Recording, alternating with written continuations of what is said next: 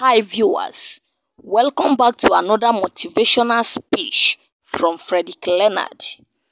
In this powerful video, Frederick Leonard speaks to his fans with honest words of motivation and encouragement. Don't let negativity around you stop you from thriving. Push harder and break boundary. My fans all over the world, good afternoon. Frederick Leonard's passion and determination shine through as he urges everyone to rise above challenges and embrace their full potential. Viewers, whether you are dealing with personal struggle or simply need a boost of positivity, this video is for you.